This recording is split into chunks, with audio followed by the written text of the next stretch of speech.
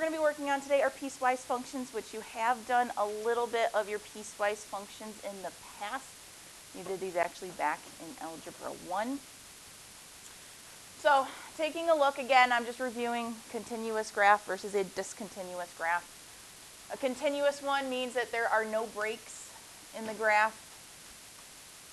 Discontinuous means there are breaks in the graph. It's not all connected. It doesn't flow nicely from one point to the next.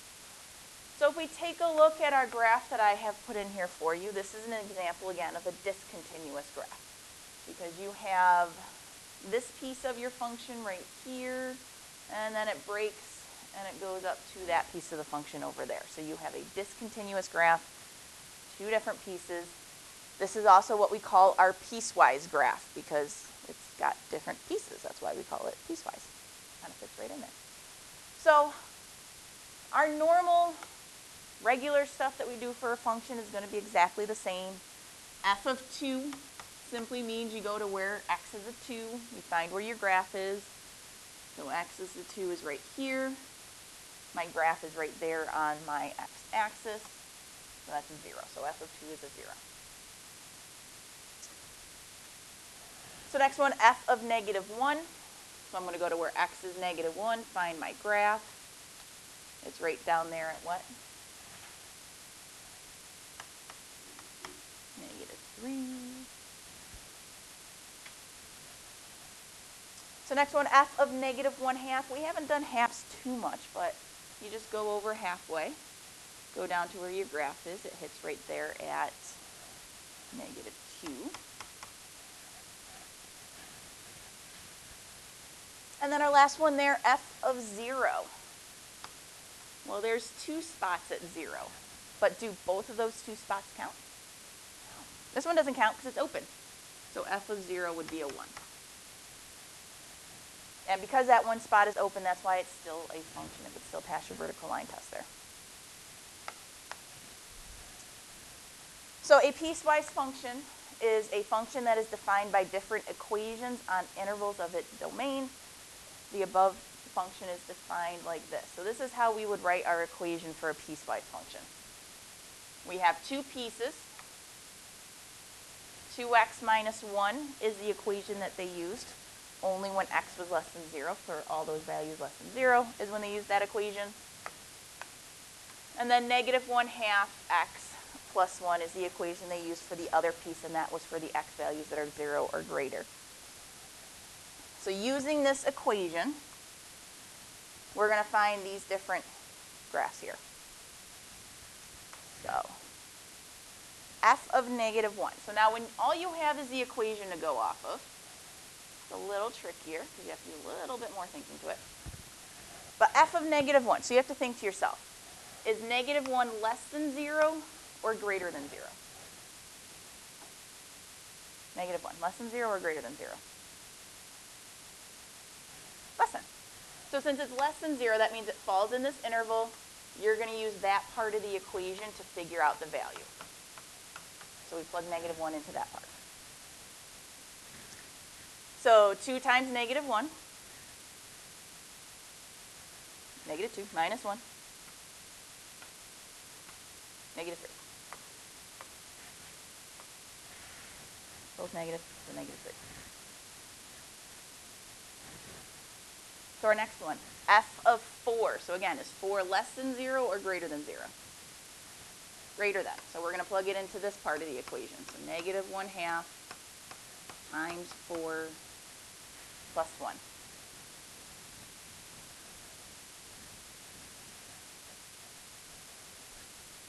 So that's here. Negative 1 half times 4 gives us negative 2 plus 1 gives us negative 1.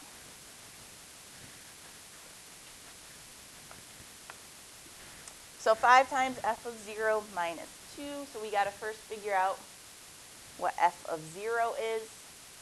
So this one is just simply less than 0. The second one is greater than or equal to 0. So which one would we want to use? The bottom one. We want to use the second one. So I'm going to keep my 5 out there. It's still got to hang out there. So we got negative 1 half times 0 plus 1. That's how we're going to figure out our f of 0. Just plugging my 0 into that equation. And then we got to subtract 2. So our order of operations, parentheses first. Anything times 0 is 0. Plus 1 gives me a 1. So 5 times 1 minus 2. So 5 times 1 is 5, minus 2 gives us 3. So final answer for that one.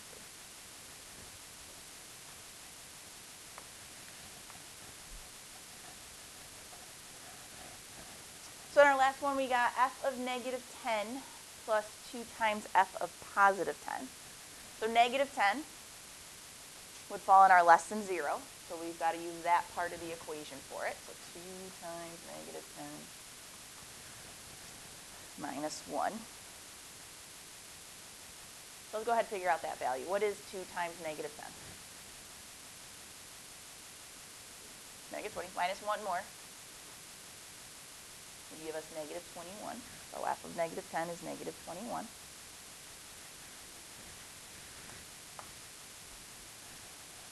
And then it's plus 2 times f of 10. Now f of 10 being positive is going to fall in the other part of the equation.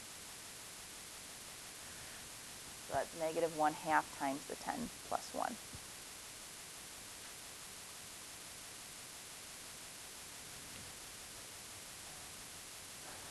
So negative 1 half times 10 gives us negative 5. Negative 5 plus 1 gives me a negative 4. So what is 2 times negative 4? Negative 8. So negative 21 minus 8, negative 29.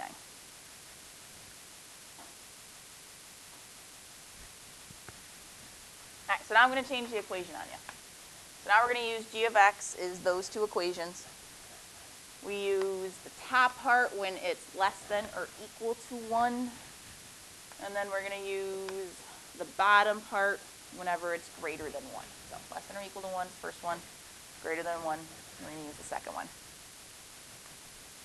So f of negative, or sorry, g of negative 4.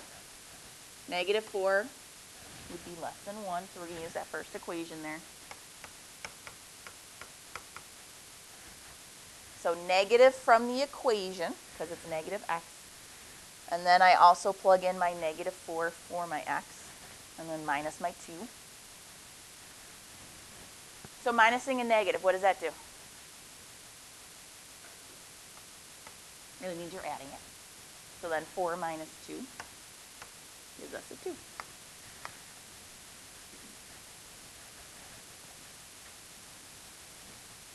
So then for B, we got a lot of parentheses here. We got even a bracket here. That's the way calculator does it a lot. is It puts it in as a bracket once you get more than one in there. So we've got bracket g of 1 minus g of 2, and then that is squared. So we got to figure out the stuff in the brackets first, and then we can square it. So g of 1 is still going to be that first one, because that's when it's less than or equal to 1. So 1 is still part of that. So we got negative 1 minus 2,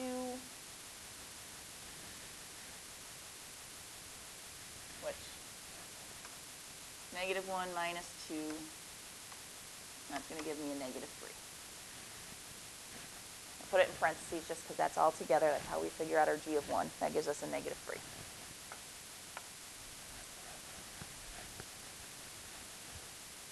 So let's figure out the other one. g of 2. 2 is greater than 1. So that means we're going to use the second equation down there. I'm going to plug a 2 in for that x. So 2 times 2 squared minus 3. And I finish off my bracket there.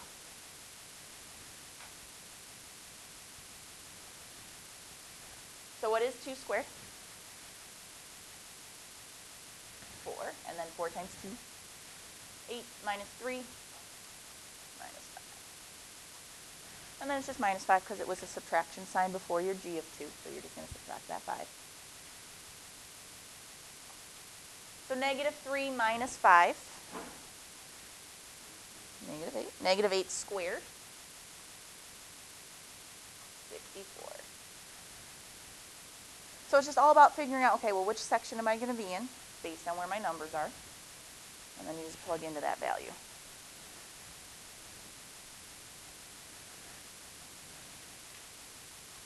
So now we're going to do a graph because sometimes we do need to graph these things. So since you have two sections, you have two equations, you want to have two tables.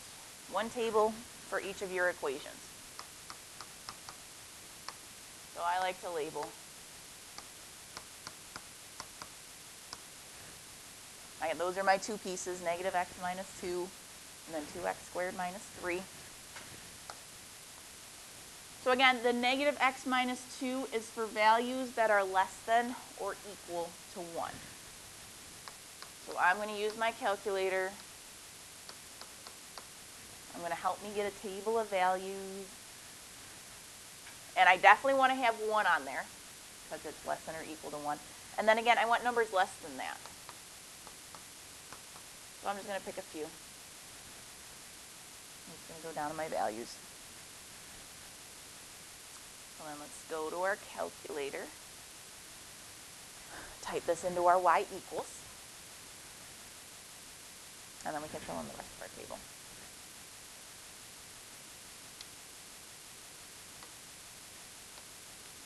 Negative x minus 2. I'm to go to my table. So I got 1, negative 3.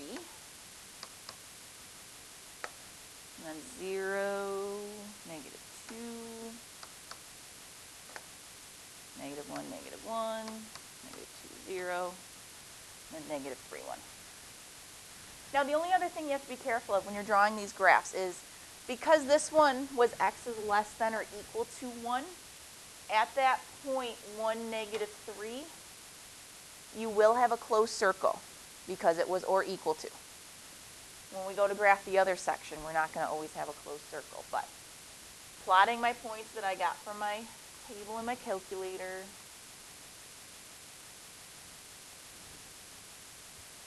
I'm going to draw myself a nice straight line.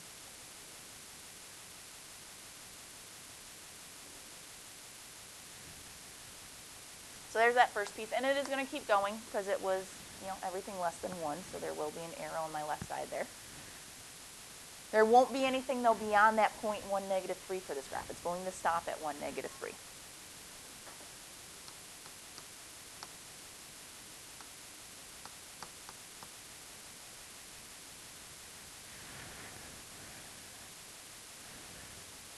So then for that other half, we're doing that section for when 1 is, or for when x is greater than 1, but we're still going to want to have 1 in the table because we need to use that point to help us figure out where we're going to be. So even though it's supposed to be greater than 1, you still got to put the 1 in the table. We still need that point to help us graph it correctly. So 2x squared minus 3, so I'll go back to my y equals 2x squared minus 3. We got 1, negative 1, 2, 5, 315, 29, and 47. Well, I definitely won't be able to graph those, but I can still write them in my table. So again, x is greater than 1 was our inequality for this time. So at that point, 1, negative 1, we are going to put an open circle because it's not actually equal to that point, but we need that point to be able to make our graph accurate. And so then my next point is going to be the point 0.25. And then that's all I can graph for this one.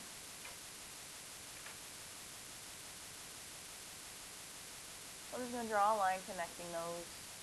Put an arrow over there on that right side because that graph is definitely going to keep going. And then as for my label, because it is in function notation, all we have to label it as is g of x. You don't have to write the whole thing. Just that function part, g of x. It makes the labeling nice and easy. so there's our graph. So you just got to do each piece and graph them within the domain. So for graph number four, how many tables are we going to have? Three. We're going to have a table for the absolute value of x. We're going to have a table for negative x squared plus 4. And then we're going to have a table just for the 4.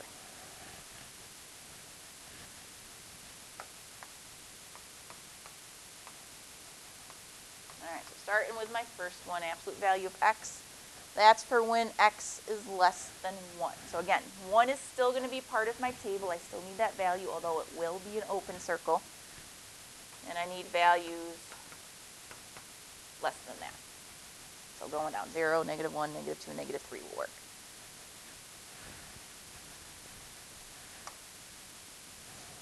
So in our calculator, who remembers, where is our absolute value sign? Math. Over to the right. Once that first one, ABS. That is your absolute value. And then we just put our x in there. If it was just absolute value of x, so we just put an x in there. So looking at my table, we got 1, 1, 0, 0, negative 1, 1, negative 2, 2, negative 3, 3.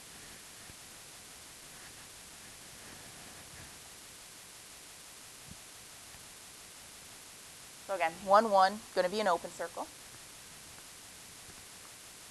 0, 0, negative 1, 1, negative And then the rest of them would just be normal dots to plot your points.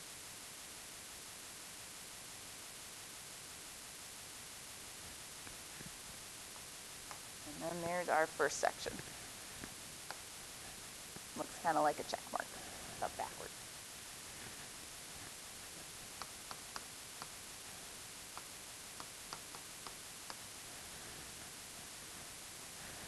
So then our middle table, our middle equation says that it's going from 1 to 4. So those are the only values we're going to have in there. 1, 2, 3, and 4. And they both have the or equal to. So these are all going to be closed circles when we do go to the graph them. Negative x squared plus 4. Let's put that in. Negative x squared plus 4. Go to our table. So we got 3, 0, negative 5, negative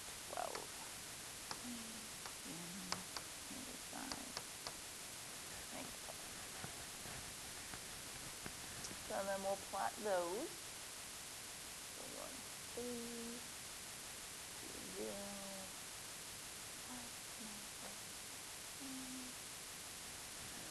Now, 4 negative 12 is not going to actually fit on my graph. But because it is a closed circle, I'm just going to kind of estimate it. That won't happen on your test. You'll have the full graph space on your test to do it.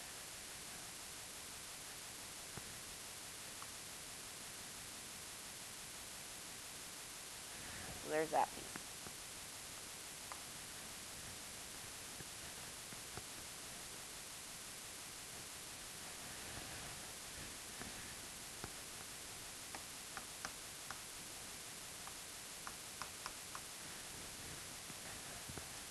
And then our last part for the 4, that's going to be when x is greater than a 4. So again, I'm going to have 4 in there because I need that placeholder there. And then the equation is just 4. So all my y values are 4. It's what we call our constant. It's the same number every time. You could put it in your calculator if you really wanted to, but you're just going to get all 4s. So 4, 4. I'm going to put an open circle there. And 5, 4, 6, 4. And then I'm going to put an arrow because that's going to keep going on forever.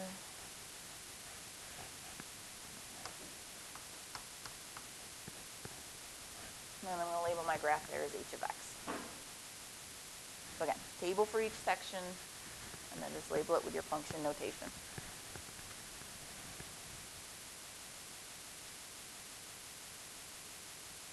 All right, and our last part here, question number five. For the piecewise linear function given by this equation, find all solutions to the equation f of x equals 2 algebraically. So f of x equals 2. Remember, this is saying that the function equals 2. If they had wanted me to put a 2 in for x, how would they have written it? If the 2 is in the parentheses, that's when you plug in for x.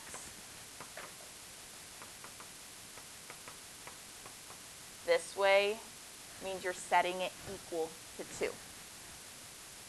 So we're going to take both parts of the equation, set them both equal to 2, so my negative 2x plus 10 equals 2, and my 3x minus 4 equals 2.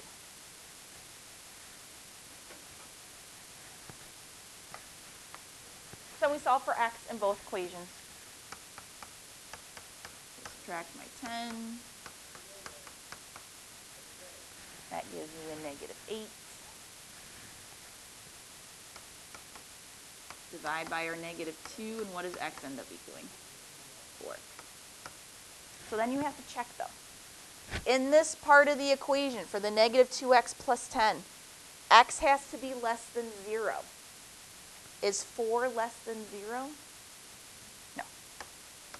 So we got to reject that. That's not actually going to be an answer because we don't have the graph at that point in time.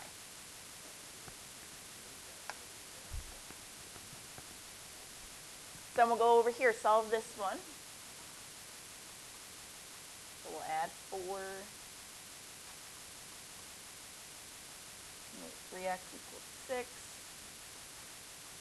Divide by 3 and x equals 2. So for that section of graph, it's for when x is greater than or equal to 0.